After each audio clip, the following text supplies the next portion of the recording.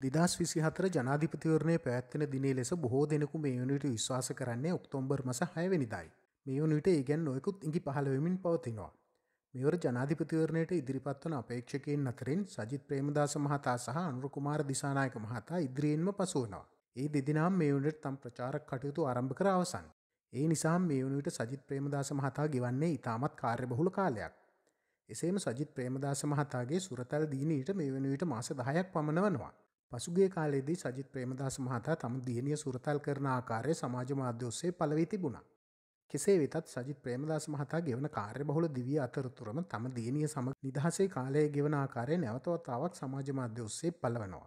කොතරම් කාර්යබහුල තත්ත්වයක් තුළ වුවත් ආදරණීය පියකුගේ යුතුකම් මිටු කරමින් දියණිය සමග සුරතල් වන ආකාරය දැක්වන ඡායාරූප පෙළක් පසුගේ දාසේ වෙනදා එනම් ලෝක පියවරුන්ගේ දිනේදා සමාජ මාධ්‍ය ඔස්සේ සැර සරණ ආකාරයක් දක්නට ලැබුණා.